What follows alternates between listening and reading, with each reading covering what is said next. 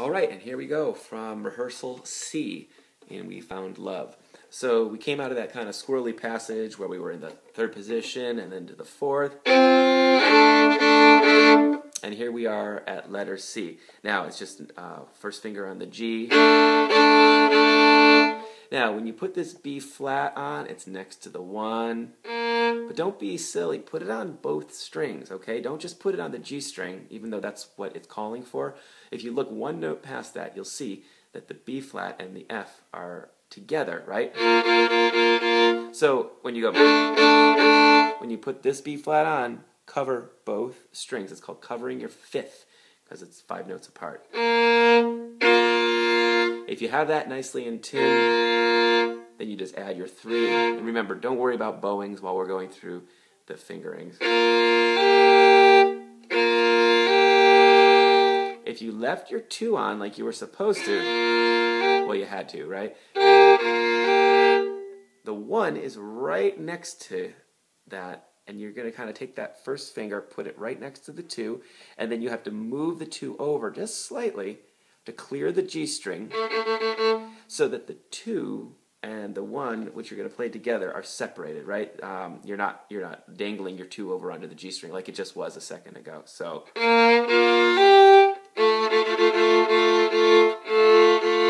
Okay, um, tricky though because your two can't be touching the G, but it also can't be touching the A because we're about to go.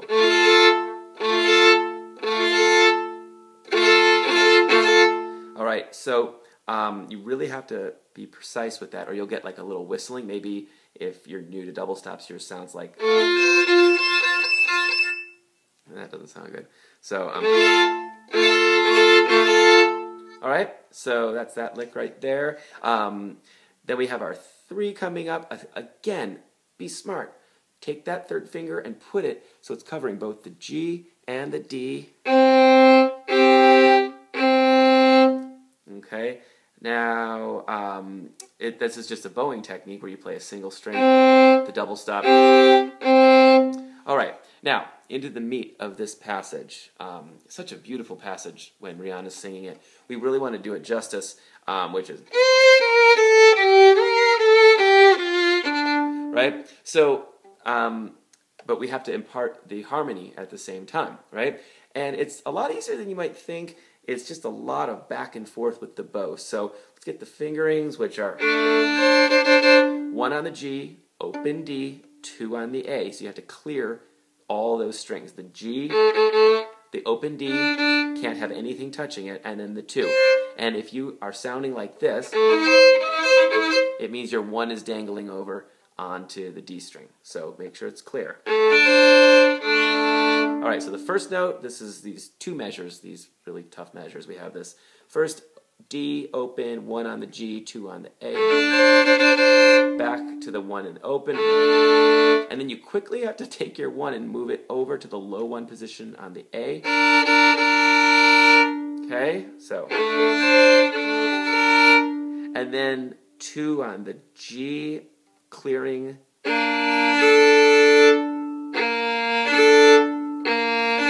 It's not technically a double stop, that B flat, but you're going to kind of smear it together, right? So. The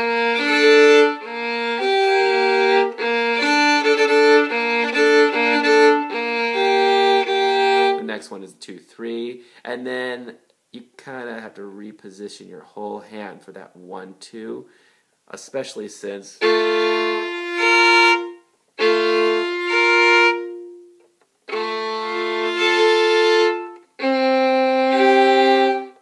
Was out of tune. I was out of tune. I can't hear you. Okay. Um, I'll do that again slowly, that passage. This is uh, rehearsal C, one, two, three after rehearsal C.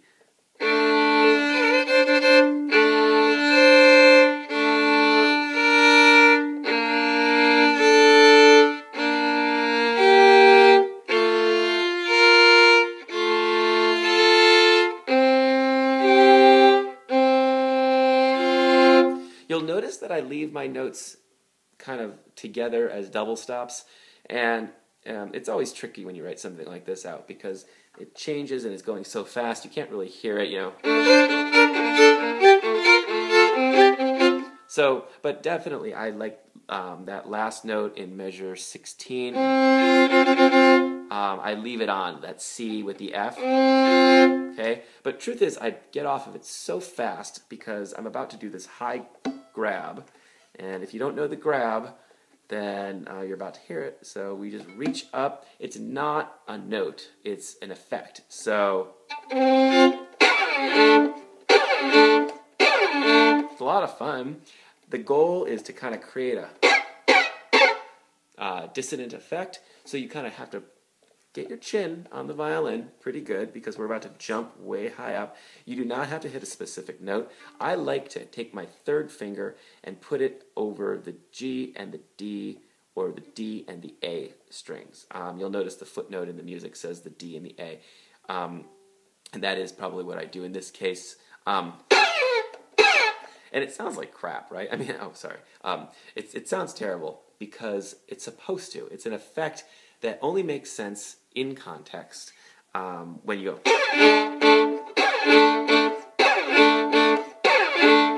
So practice that a bunch of times and make sure that you're not playing it literally or um, you'll read that footnote. You will sound like a fool if you go. Um,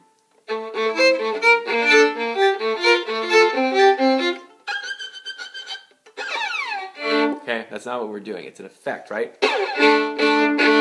And I can afford to talk for so long about these difficult measures. Why?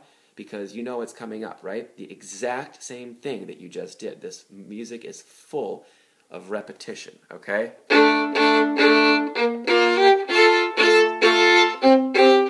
Those, are, those two measures are exactly the same as measures 13 and 14, right, right at C, right? So after the grab, we've already done this. So the challenge is going to be to find and that's really what this part of the violin is for. You're sliding, your thumb comes down, and it bumps into this kind of stop. And sometimes you'll go too far, you'll go a little too low, sometimes you'll go a little too high. Um, um, good news is you have three notes to fix it, right? Yeah, so um, try to hit it on the first one if you can. And then um, this, these last two measures. That chord is actually the same chord as we did, which is immediately above it. Um, however, it's a quarter note, right?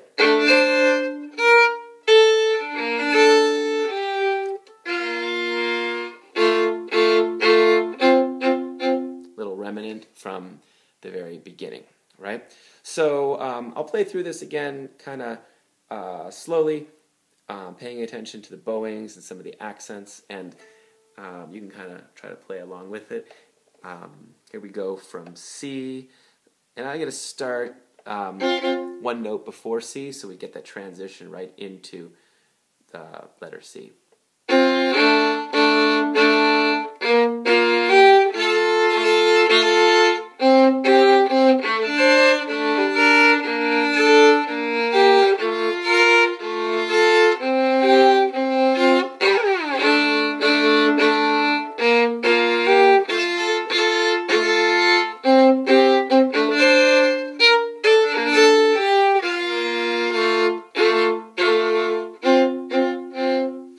there's a decrescendo at the very end right there.